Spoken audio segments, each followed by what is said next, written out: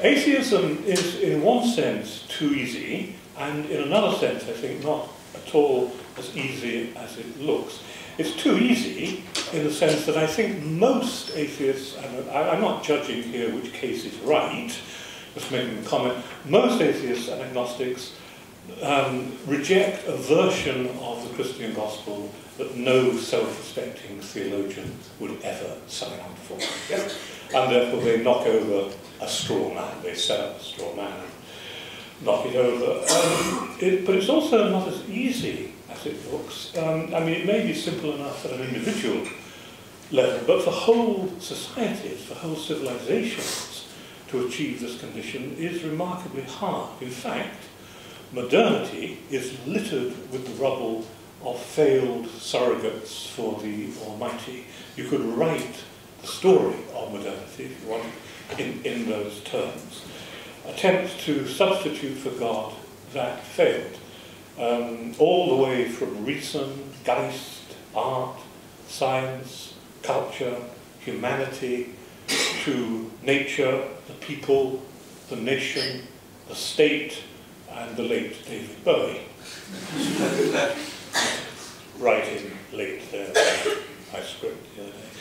I don't, of course, want suggest for a moment that these phenomena are nothing but substitutes for the deity, stand-ins, surrogates, delegates, but all of them have fulfilled that function in their time. Religion has played such a vital part in legitimating political regimes that our rulers could hardly look upon the disappearance of God with any degree of equanimity, which is one of several reasons why there have been various largely doomed attempts to fill his shoes. I say largely doomed because religion is an exceedingly hard act to follow, whether you believe in it or not. Um, it has in fact proved to be the single most tenacious, enduring, widespread, deep-seated symbolic system that humanity has ever known. Not least because it's able to connect the everyday customs and practices and habits of billions upon billions of people, ordinary people, with the most august, transcendent, imperishable truths. It's able to make a direct connection between those two dimensions, as it were, as no other symbolic system that I'm aware of can. It's the most successful form of popular culture in history. Now, I wager you won't find it on a single cultural studies of course.